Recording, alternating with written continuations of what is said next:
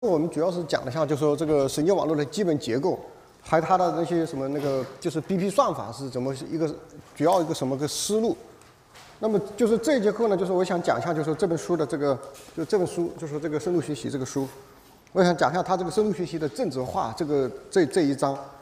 那么这一章就说，呃，是我读了我自己是读了几遍，我觉得它里头讲的东西还是非常有意思的，就是我们。来看看这里头，因为它这个政治化里头，它还有很多这种，就是实就是实践的一些技巧，或者说一些非常有用的东西。那么就说就说这个政治化呢，就是我们之前我们也大致说过说过这个就是这个机器学习里头，对吧？或者统计里头，实际上它的一个核心的一个技术或者核心的一个思路就是政治化。那么简单的说呢，政治化我们可以看成是什么？就说我有一个目标函数，对吧？就说这个假设这个是 J。这个这个西塔，然后这个 x 是我的这个输入数据，这个 y 呢是我的是什么？是我的这个输出数据。那么这个就是我的这个 loss，对吧？loss 函数。那么我现在是要估计这个西塔，对吧？估计这个西塔。那么这这个所谓的这个正则化就是什么？就是我对这个西塔这个参数呢，我加一个什么？加一个加上某一个这个这个正则化项，就是这一项呢可以称为是它的这个，就是这个正则化项。这个就是我的这个 loss。就是我这个 loss 函数，那么这个是个正则化函函数，那么整个这一项就是合在一起，我把我们就把它看成是什么？就说我的这个整个问题的这个目标函数，对吧？就定义成这样的一个东西。那么关键是这个这个这个东西，对吧？这个东西，那么就是在我们神经网络的这个里头的时候，这个就是什么？之前我们说了这个，比如我用交叉商或者是用什么去定义的，对吧？然后对这个参数呢，就说我我这个每一层的这个全值。这个全值，这个就是我把它所有看的是一个西塔，对吧？西塔呢，我给它一个什么？给它一个一个正则化。那么这个做法呢，就说就说我们标准的一个做法呢，一般就是就对什么？对它做一个什么？给一个是这个，就是这个 L 二范数，就是 LP 这个 norm 这个这样子一个一个定义，对吧？就这样子一个 LP 定义。那么首先我们看看一个比较特殊的情况，就说给这个 LR 这个正则化，那么到底是个什么回事？就是我们看看这个问题，对吧？那么就是说，我现在是定义这个，就说这个这个阿米伽西塔是等于什么呢？那么对于我们这样一个问题的话，就是什么？就是这个阿米伽西塔就是，对吧？这个西塔就是我的这个全值，这个全值。但是呃，我们再说一下子，就是说，就是呃，因为一般情况下，我们说每一层，对吧？就是每一层我们不是什么？就是每一层我们是，比如我这个输入，对吧？x，然后这个什么？我我有一个 w，对吧？然后加上一个 b，加上一个 b，实际上就说我这个参数实际上是什么呢？实际上就是由两部分组成，对吧？一个是 w，一个是 b。这个 b 呢是我的这个这个偏偏置项，这个 w 就是我的这个那个这个对吧？参数就是对于我们这个什么，就说整个所有的机器学习问题或者统计学习问题的话，就是一般情况下就是我对这个 b 呢我是不给约束的，就是这个 b 我是不给约束的，我只给什么？我只给这个 w 给约束，是吧？只给这个 w 给约束。那么，那么所所以说这个问题呢，就说我们可以什么？就是比如我现在考虑这个问题，那么假设现在我这个 b 了，我就不考虑它，对吧？我假设这个 b 就等于零，对吧？我就把这个问题为了简简化，就 b 不等于零，呃，就等于零。那么就现在只考虑这个 w，就说你你像 SV 嘛等等这些东西，就说它对这个东西是不给予正则化，对吧？就只给这个正则化。但是一定要记住，这个东西是非常有用的，这个东西是不能随便扔掉的，对吧？这个东西就是如果有时候你把这个 b 就直接让它等于零的话。那么这个问题可能是什么？这个问题可能就就效果就不是那么好，或或者一种刚才一种做法，就是说我把整个这个 x 扩扩充，对吧？x 一这样子做完了，整个把它再搞成一个这个合在一起，然后整个这个地方给正则化。如果整个给正则化的话，实际上不如什么？不如只给一个给正则化，效果好，是吧？所以说一般情况就是说我是不给它，只给它了。就是说，那么现在我们这个讨论，就是我这个问题讨论呢。我就是为了简单，对吧？我就现在就不不考虑这个问题。那么我现在考虑第一个就是这个，就是这个 L 二这个这个范数这个正则化这样一个问题。那么对于这个问题呢，我们考虑我这个问题的话，就是这个 J 这个 W 这个 X W 就等于这个什么？就是二分之这个阿尔法这个 W 的这个卷质，就是这个二范数，对吧？加上这个 J W 这个 X Y。就这是我的这个问题，这个问题对吧？这个问题这个，那我们现在就说我们考虑的是解这个问题啊，解这个问题，解这个问题，我们来看看，就说我们如果用就是来求这个问题的最小和求整个这个问题的这个这个最小，它们之间的一个什么就是一个关系，到底是个是个什么样的关系，对吧？我们来就就是来看看这个问题。那么首先就说我们来看看这个，那么如果求那样子一个问题的话，我们就求这个什么？这个它的这个梯度，对吧？这个梯度这个 w，这个 x，这个 y，这个是 y，对，求这个梯度。那么这个梯度的话，第一项就是是这个阿尔法，这个 w 是吧？然后第二项就是德尔塔的这个阶，这个 w，这个 x，这个 w x y，这个这个东西是吧？那如果我是用这个梯度，就说这个梯度方法去解的话，那么就说这个 w 呢，实际上我是赋予什么？这个 w 加上这个呃，就减去一个什么全值，对吧？伊普西坦，然后整个这个。这是我的梯度，对吧？就是阿尔法 w 加上这个德塔，这个 j w，这个 x y，就是这个，就是整个是这样子一个东西。那么这个东西呢，实际上是可以什么？我可以把它写成这个，就是 w，这个这个应该是 i，对吧？或者这个是一吧？一减去这个，一减去这个，这个阿尔法，这个 w 就把这个合在一起。然后这个后后头一项这个是伊布森特，这个德塔，这个这个 x y 对吧？就是这个，就整个这个得出的这个迭代式子实际上是是是，就说这个 w 是什么？是这样子来迭代的，对吧？是通过这样子一个一个迭代。那么这个迭代的话，我们发现就是说我加了这一项的话，实际上就是什么？实际上就是有一个，就是说我每迭代的时候呢，先把这个上一次的这个东西做了一个什么？做了一个收缩。做了一个收缩，对吧？就减去这个一不成的阿尔法的话，实际上就是这个式子一般，就说这个这个这个阿尔法，对吧？整个这个就对这个成了这样子一个一个一个一个系数，对吧？让这个做了一个收缩，然后再什么？再再按照这个梯度方向往前走，对吧？就是这个这个，就是这个这是这样子一个迭代过程。那么现在我们想分析一下，就说就说这样子来做，对吧？后来就和求这个问题本身的这个这个什么？这个解到底它是一个什么样的一个一个一个原理，或者说它它中间到底它就是蕴含了一个什么样的一个机制在这个地方？那么首先就是我们现在假设就是什么？这个 W 星号，这个 W 星号呢就是什么？我这个原目标函数的最小，就是说假设它这个就是这个接这个这个 W X Y 就是这个问题的一个最小，这个 W 接信号它的最小。那么，如果在这个地方假设有这样子一个最小的话，对吧？那那我现在就说我来考虑一个什么？就是我考虑一个，就是用，就是我们往往我分析这种情况的情况，对吧？分析这种问题的这个这个方式呢，就说一般就是在整个一个一般的函数这个形式上，再来分析这个问题实际上是比较难的。所以说，一般的一个简单的一个想法是什么？就是我总是想把这个问题变成一个二次二次问题，然后我在这个二次这个问题里头去分析，看能不能得到一些什么有趣的一些。就说一些一些数学的一些一些机制，对吧？或者一些原理。那么，如果那么这样子的话，我们看，就说因为这个它是它的星号，所以我现在可以定一个什么？定一个二次函数。这个二次函数呢是什么？就是就是就是这个阶在这个阶星号里头的一个二次它的展开。就说我现在定一个阶的这个这个这个 w，这个 w 就等于什么呢？就是这个阶的，就是这个。就是这个函数在这个接星号里头的这个二二次展开，这个接星号，然后加上这个应该实际上是什么德塔这个接是吧？这个德塔这个 w，然后这个我我现在就是这个后头不写了对吧？就为了为了这个方就是简单起见，然后这个应该是 w 减去是什么 w 星号对吧？就是这个这个是应该是列的，这个这个再加上它的这个二次项。这个二次项是二分之一，然后这个 w 减去 w 星号，然后这个 h 呢，我就记为这个是什么？它的这个二次项，也是就是说它的黑森矩阵，对吧？在这个这个这个地方，然后这个是这个 w 减去这个 w 星号，就说这个 h 是等于什么呢？这个 h 就是等于这个，就是它的这个，就是它的这个阶升矩阵，就是这个阶这个阶的这个二阶导数，是吧？就是德塔的这个平方，这个德塔星号。就是它的这个二阶矩阵，就是黑森矩阵，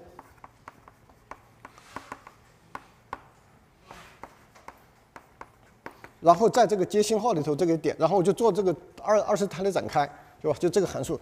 那么因为这个什么，这个这个呃 w 星号是这个问题的最小，是这个问题的最小，所以说它的什么，它的这个一阶导数，对吧？是不是它的梯度应该是等于零，对吧？梯度等于零，所以说这个问题就是什么，就简化成什么，就是接的这个 w 星号，就说我把这个梯度这个应该是等于零，就是直接是加上后头这一项，就是二分之一，然后 w 减去这个 w 星号减至 h，这个 w 减去 w 星号，就是我定义这个怎么这个。这个接的这个 w 就等于这样一个东西，是吧？就说就是什么？就是在接在接呃 w 星号里头的一个二次态的展开，就这样子一个一个式子。现在我们看这样这样子一个问题，是吧？这个问题。那么对于这个问题，就说我我们来看看，就说呃，如果现在有这样一个问题的话，就因为这个是因为它的一阶导数等于零，所以我们就就就把它不要了，对吧？那这个二次问题，那么如果这个二次问题的话，从呃，我们看看这个二次问题，如果这个二次问题它的一阶导数，我看这个，它的这这这个地方的最小化，对吧？就看这个问题的这个最小化，这个 JW 的这个最小化的话，那么实际上这个什么，就是这个，这这个是，不是阿阿尔法加上，这个是我看。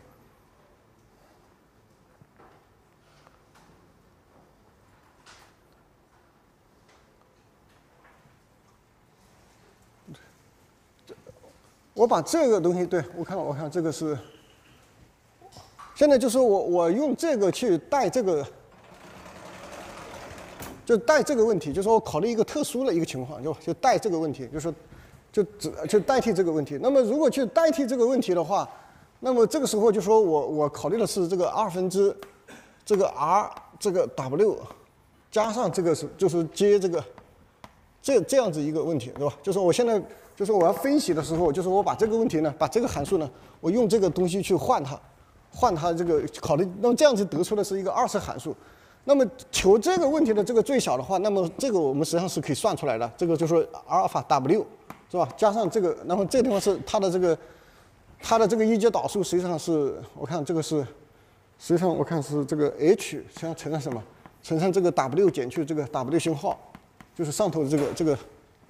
它导数，然后它它等于零，它这个等于零，它这个等于零的话，实际上这个解，我看这个是，这个地方是实际上是 h 加上这个阿尔法 i，这个 w 就等于什么呢？就等于这个 h 的这个 w 星号，是吧？就这个打这个这个解，那么这个解就是这个 w 就等于什么呢？就等于这个 h 加上这个阿尔法 i，这个负一，对吧？它的幂乘上这个 h w 星号。就是这个时候，就说我把这个问题近似成一个二次问题，近似成二次问题，这个解是这样子，就说这个解是这样子。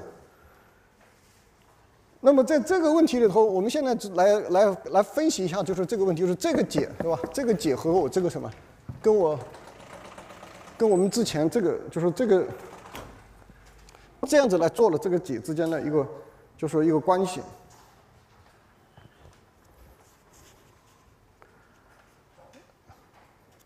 就是这个，然后这个我们看看这个，对吧？就看就来就就来看这个问题，对吧？现在就说我如果是用一个二次去近似它的话，就说我实际上我加了这样一个正则化，现在实际上我这个解是这样子一个一个一个一个问题，对吧？这这样子一个解的问题。那么这个 h 我可以什么？因为这个 h 是一个什么呢？就说是是这个，因为我现在考虑的是这个 w 信号是它的这个最小，然后是吧？w 是它的最小，那么这个 h 呢是。是这个这个接在这个 W 信号的这个黑森矩阵，对吧？那么既然你这个 W 信号是它的最小，第一个是满足条件是它的一阶就是梯度要等零，对吧？然后第二个条件呢，应该是在这一点里头的它的黑森矩阵要是什么？是是要是要半正定的，对吧？就是就是是要半正定的。那么如果是半正定的话，这个 H 呢实际上是什么？我是可以做一个做一个就是特征值分解，对吧？特征值分解就或者是做一个这个特征分解这个 H 这个 lambda。H 的这个这个东西，就说这个 h 乘上这个啊这个呃这个 q 乘上 q 这个是什么？是个单位矩阵，对吧？是个单位矩阵，是个单位矩阵。如果我做这个分解的话，我把这个分解我换到这地方来，我换到这个地方来，那这地方来的话，这个地方就是变成这个什么？这个是 q 乘上这个这个 lambda，这个 lambda 就是它的特征值的构成的矩阵，是吧？这个是 q 的这个加上这个阿尔法 i。这个负一，这个地方就是带到这地方来，这是 q 乘上这个 lambda q 的这个，对吧？就是这个 w 星号，这是我的这个这个这个值。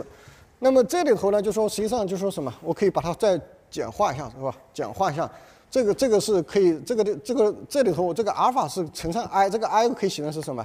可以写成 q 乘上什么 q 的卷质，对吧？乘上这个东西，那么这样子就是说这个 q 可以拿出来，这个 q 的这个什么卷质也拿出来，因为求这个求负一的话，实际上是什么？就是说这个刚好要倒回一下子，对吧？所以说这个地方就变成什么呢？就是说这这个拿出来，这个实际上是这个最后得出来这是 q，这里头是这个 lambda 加上这个阿尔法 i 负一，这地方是有一个 q 的卷质乘上 q 这个 lambda。然后 q 的卷质 w 星号，就这个东西是吧？然后这个是单位矩阵，这个单位矩阵我可以把它什么可以扔掉。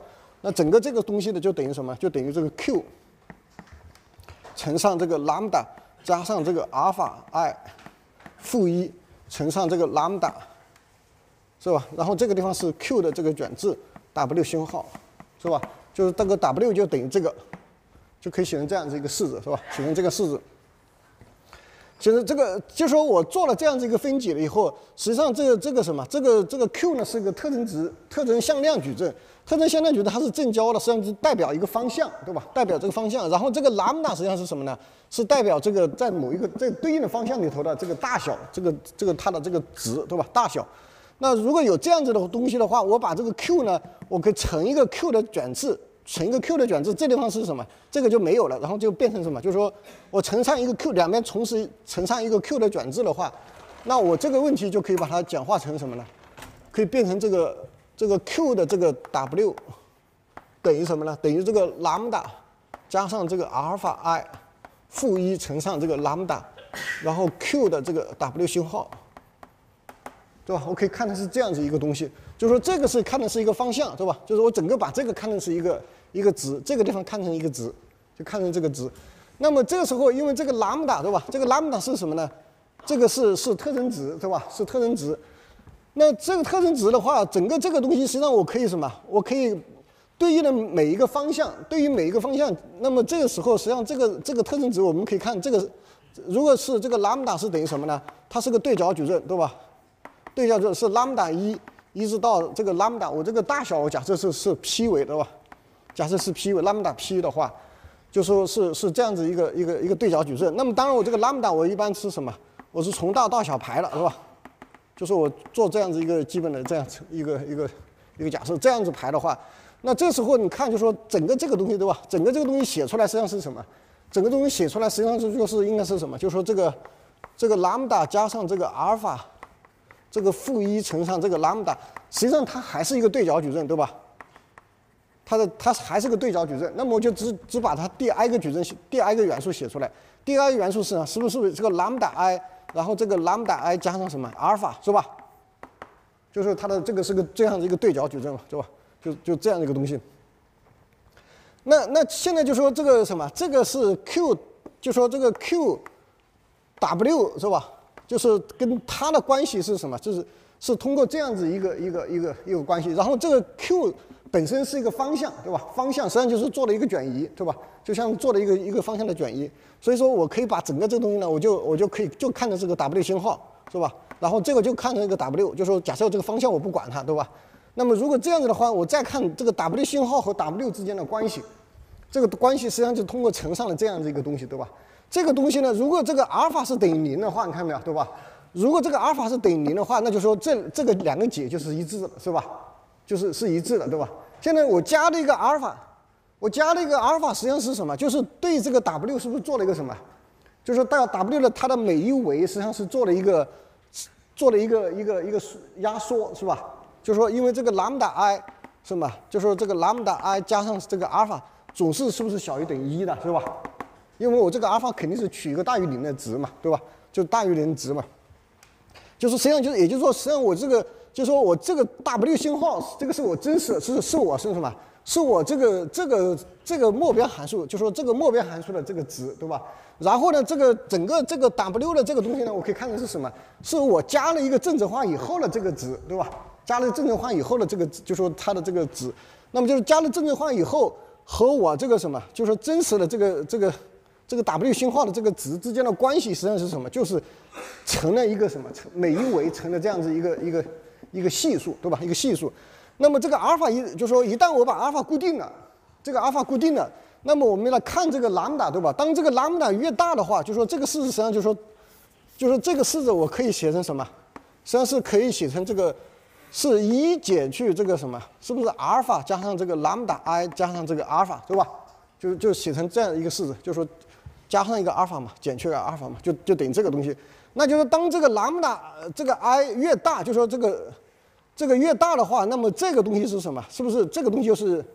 就是越小是吧？对吧？这越大越小，那么就是什么？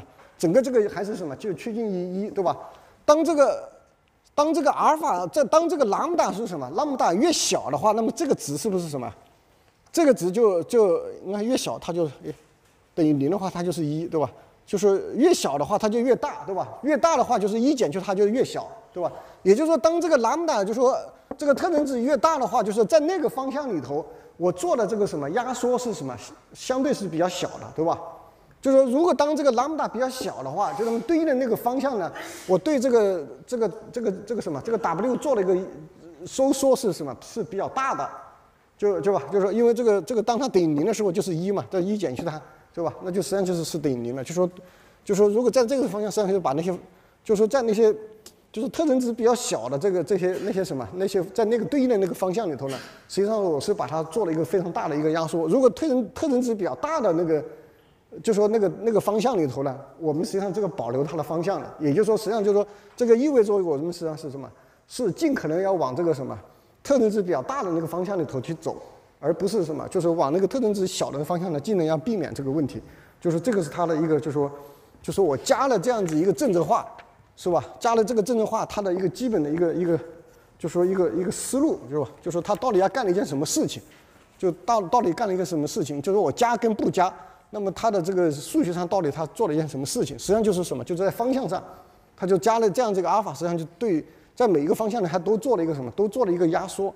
但是呢，这特征值比较小的，就说那种方向呢，它这个压缩就比较大；特征值比较大的那个那个方向呢，它做的这个压缩相对就是什么？就比比较小。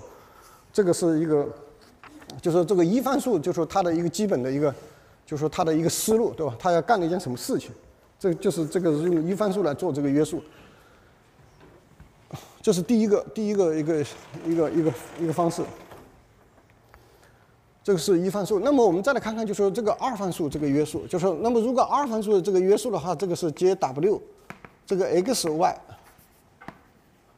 这个 y，那么这个这个这是这个是二范，那么一范数我们再看一范数的这个约束，那么这个一范数的约束是个阿尔法，那么这个一范数这个是这个 i 从一到 p 对吧？就说这个这个 wi 就加上这个 j_w x_y，就这个这个一范数就实际上就是也可以写成这个是这阿尔法就是什么？这个 w 一的这个一范数加上这个 j_w x_y。就是我们看，再看看这个问题，对吧？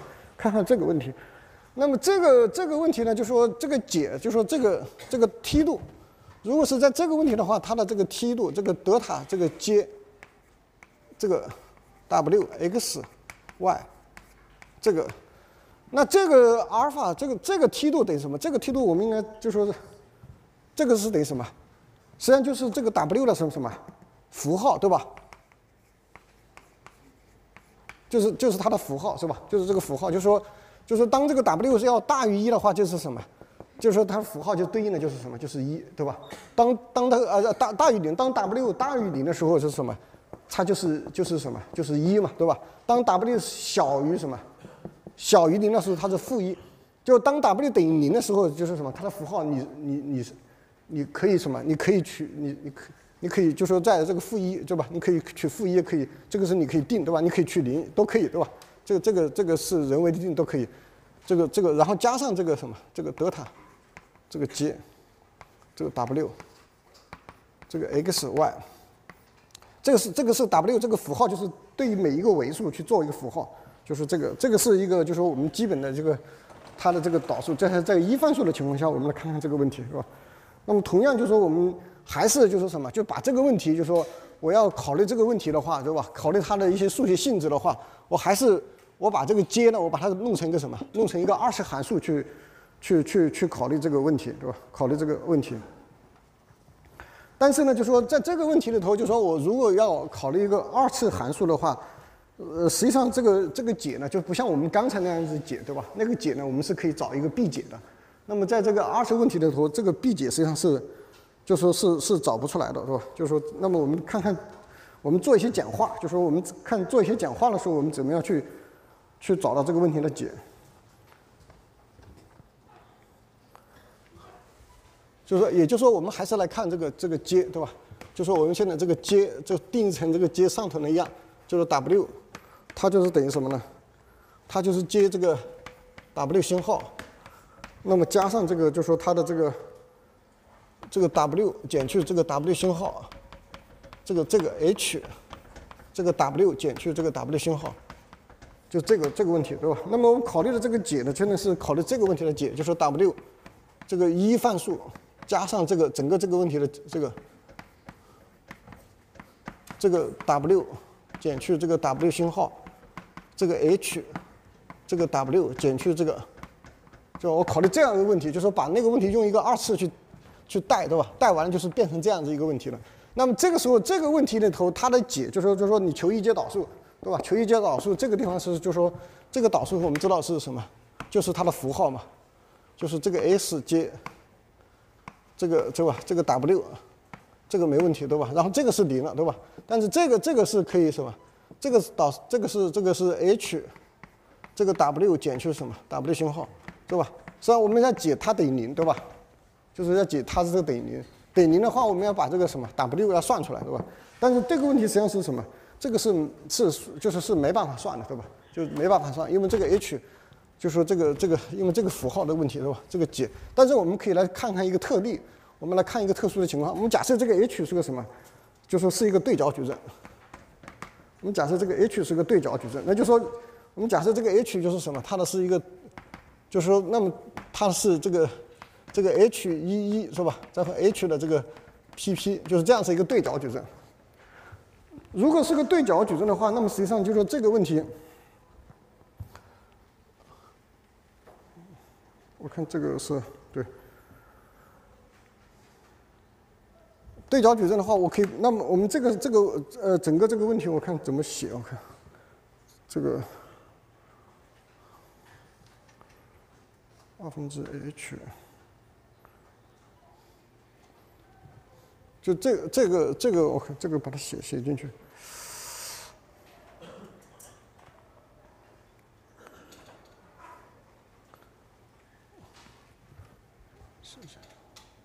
就是我我我直接先先写这个吧，就带到这个地方来。如果是对角矩阵的话，那么上头这个式子就变成这个，就说是这个是这个是阿尔法是吧？这个是 i 从一到这个 p，这个是 w i 加上这个东西。那对角矩阵是好处就是什么？就是后头这个这这一项是吧？这一项啊，这个是有二分之一，就是这这有二分之一。那么这个有二分之一，我把它写出来，这个。整个这个式子实际上是就是可以写，就是这个是 i，然后这个 h 二分之一，这个 h i i 乘上这个 w i 减去什么？减去这个 w i 的星号，它的平方，就是我可以把它可以写成这样一个式子，就是这些可以，它是个对角嘛，对吧？可以把它写成这样式。那么这样子的话，就是说，呃，因为是对角的话，我们要解这个东西，对吧？就是解这个东西的话。就是说，它的让它求求导等于零，实际上我只需要考虑什么？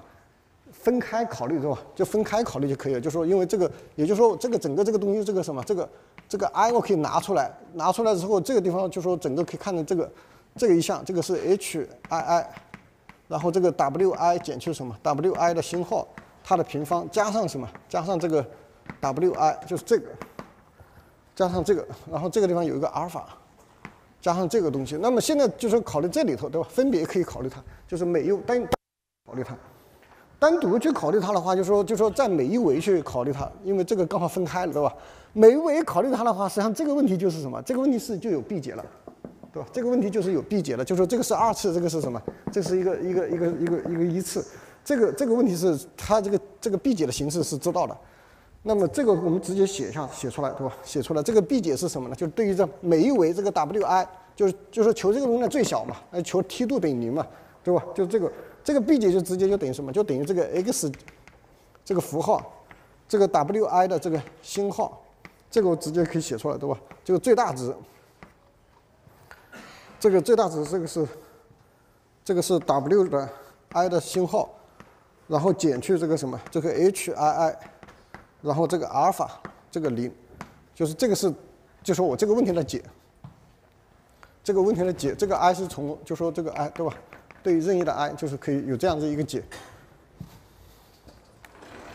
那那我们再来，我们可以分析一下这个这个这个这个问题对吧？现在它的解是这样子，这个这个东，那么现在就说我们如果考虑考虑几种情况，第一种情况就说我们现在考虑假设这个什么，这个 wi 星号它是大于零的。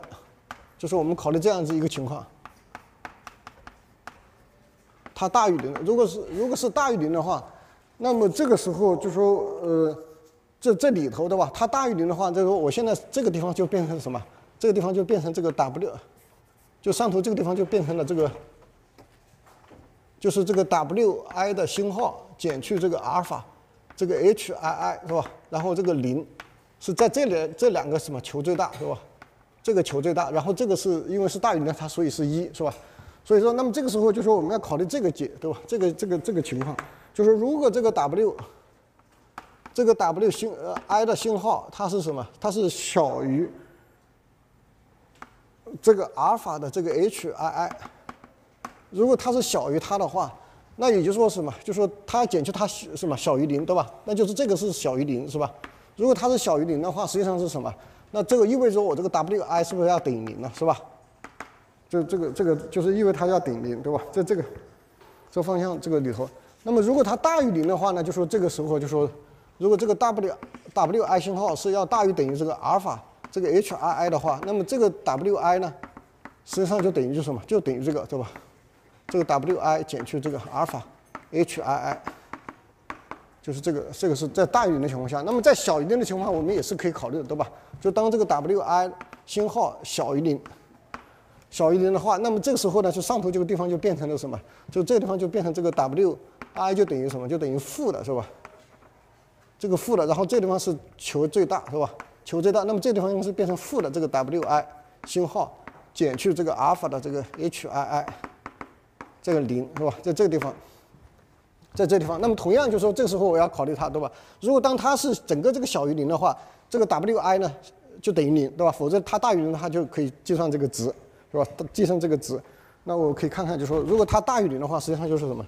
就是说这个 wi 星号加上这个阿尔法这个 hii 就小于零，是吧？就小于零。小于呃，它大于零的话是呃，对它整个呃整个整个如果整个这个大于零。就是整个，如果它整个这个小于零，那么它大于零，那么这个时候就说这个 wi 呢就等于零，对吧？否则的话，这个 wi 就等于这个值。我们现在具体不用管这么多，是吧？就可以去可以看出来这个式子。那也就是说，这个就说这个解实际上是什么？就是这个解就是是可以把这些什么，就是说当它是吧，可以把这个 wi 呢是什么置换成零了，是吧？置换成零了，就是说当这个。这个就是说，这个最优解是小于在这个值的话，这个 wi 就等于零了，是吧？就是吧？在这个地方，当当它大于零的时候，这个 wi 是等于零了，就等于零了，就说，是吧？那么，那么，那么，否则的话，它就等于这样子一个一个东西，对吧？就对原来这个东西做了一个什么？做了一个平移，对吧？做了一个平移，就说这个解跟我刚才的那个解呢，实际上是什么？是不是不一样的，对吧？刚才我们的实际上是什么？我们可以算出来那个那个什么？如果把方向不考虑的话，实际上那边算出来这个 wi 就等于什么？实际上就等于这个 lambda i 什么 lambda i 加上什么阿尔法 wi 的星号是吧？就是那个解，就是我把方向不考虑，把 q 就是我不考虑的话，就是那个解是这样一个东西，对吧？是这样一个东西。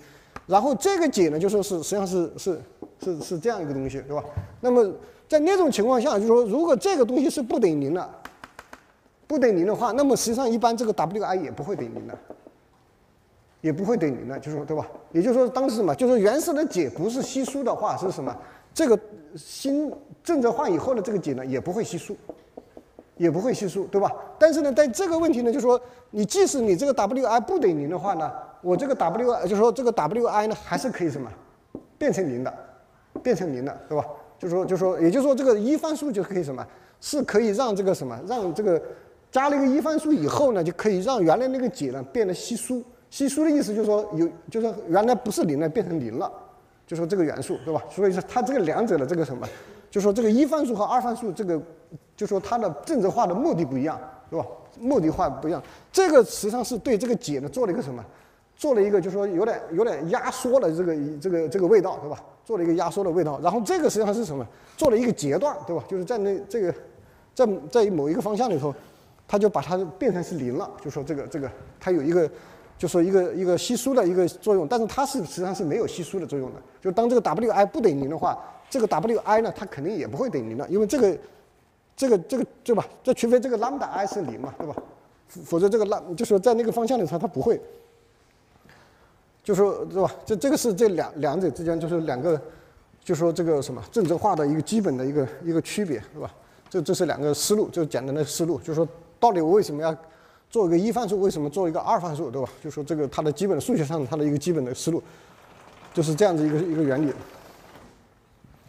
那这个是就是说这个是一个一个一个基本的一个两两个东西，就是我们用的比较多的，就是。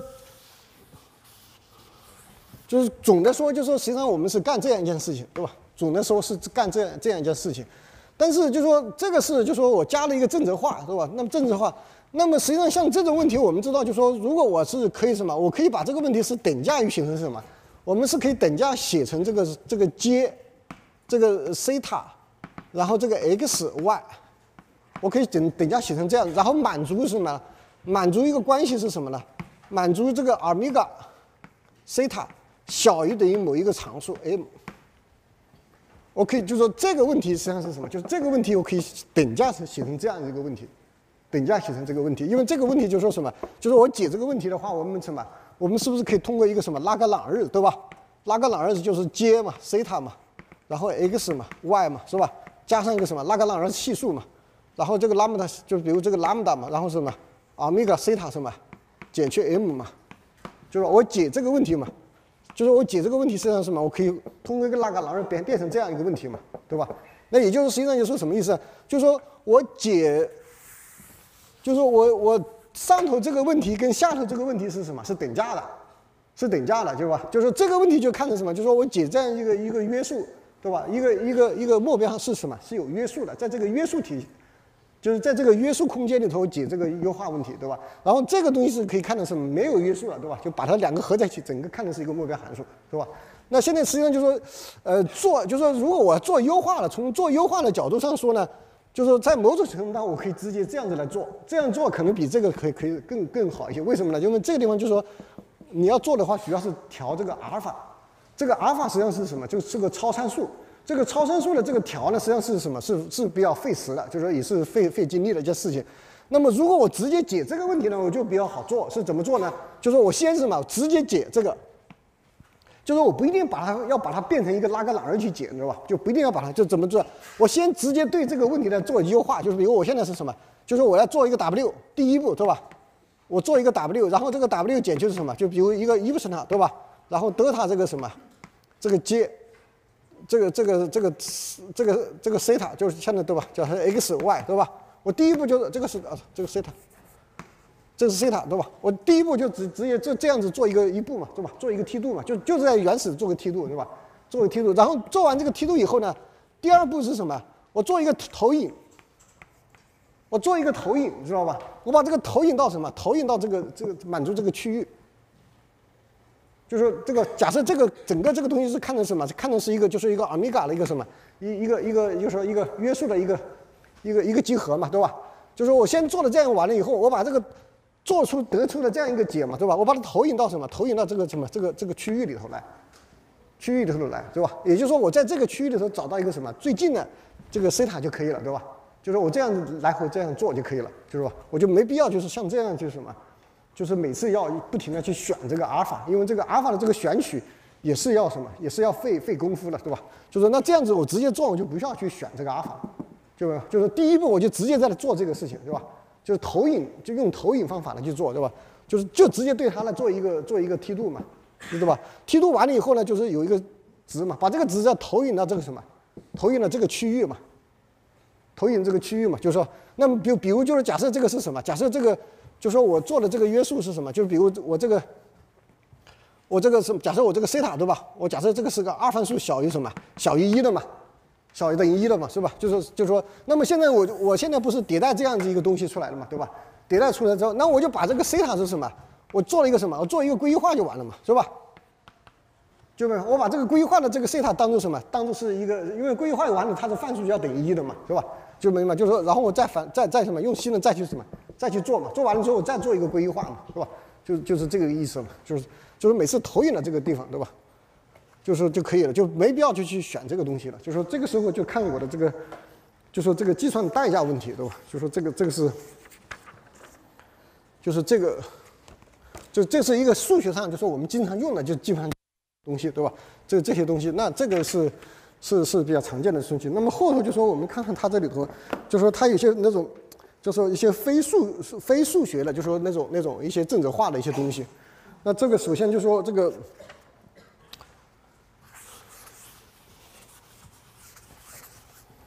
就是这个我们看看这个数据的这个数据集的增强。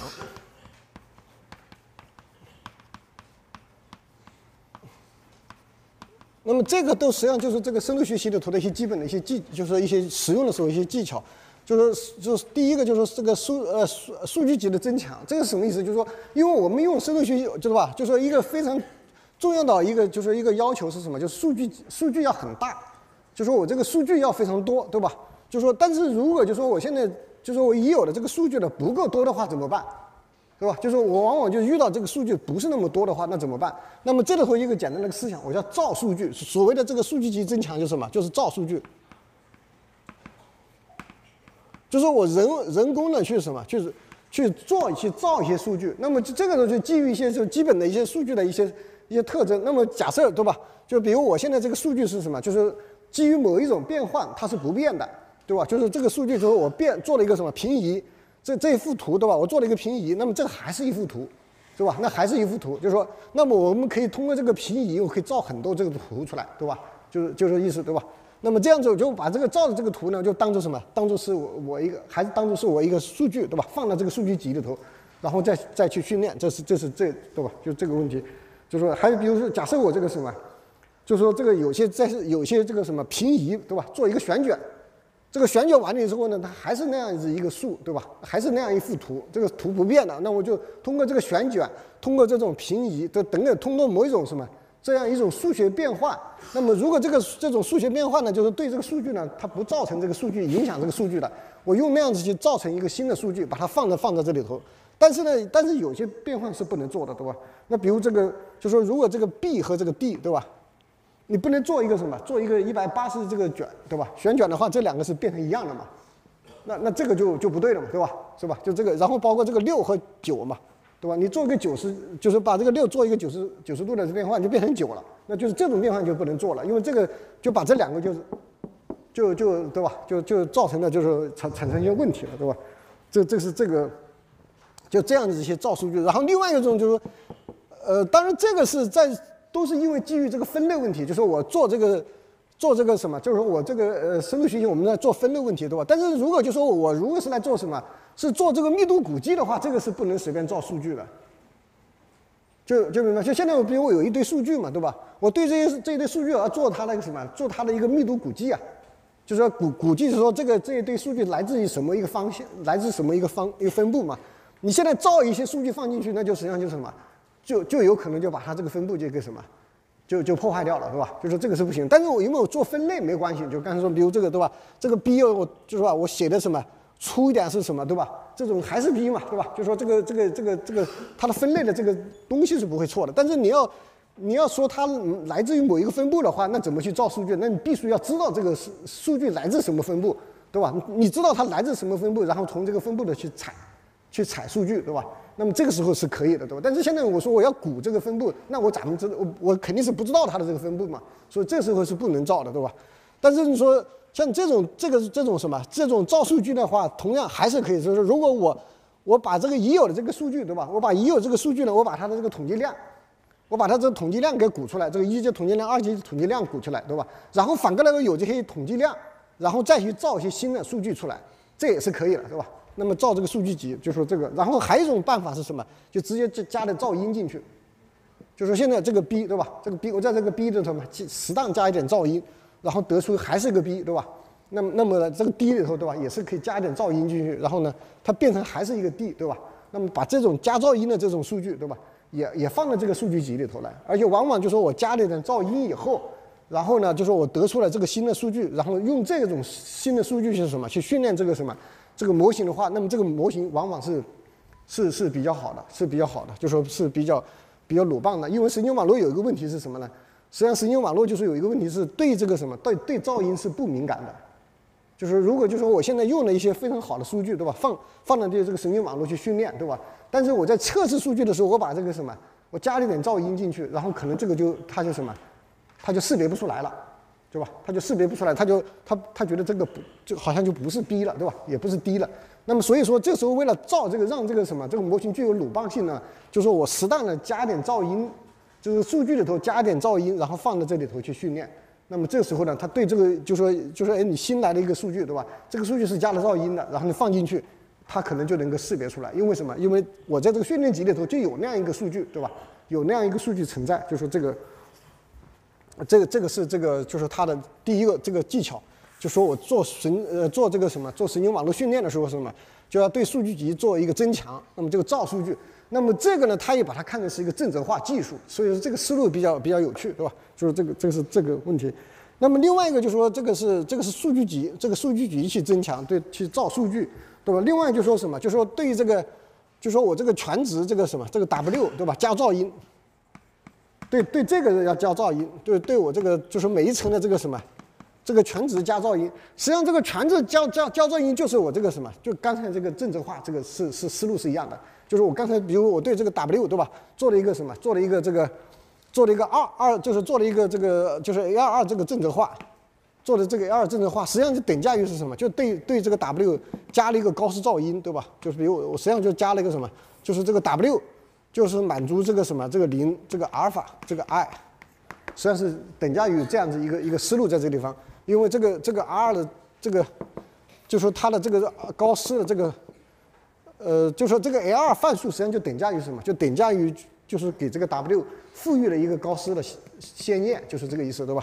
那么先验的话，你就可以看到，就说就相当于我在我这个全值里头什么，原来这个全值里头我加了一个高斯噪音进去，加了一个高斯噪音对这个 W。那么这个这个是是，这是也是一个，就是说一个比较常用的一个技巧。这是就说一个数据集，对吧？然后呢是这个输入的这个集，然后呢这个是什么？这个对这个这个全值本身加噪音。那么当然还有一种办法是什么？就是我对这个输出也去加噪音。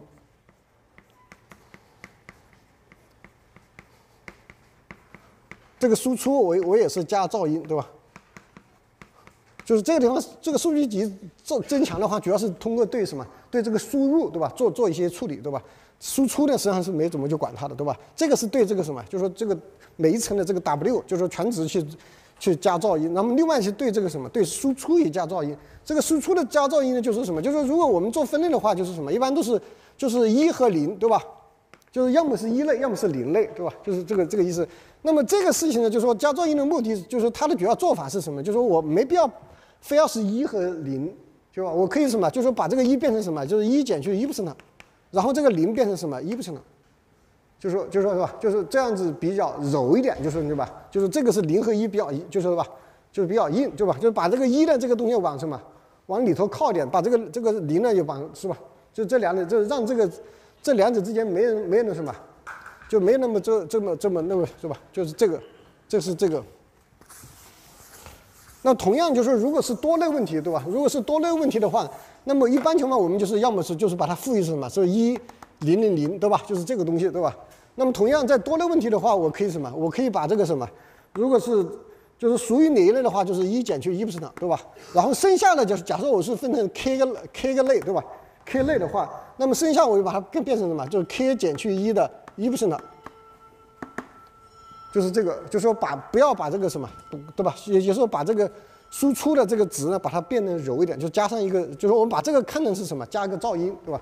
加个噪音。那么这样子主要是，就说我这样做的话，我跟去求这个商的时候，往往就是什么？就避免了。就是零的问题，对吧？log 零的问题，就说会有这样的一个一个技巧。行，我们先休息。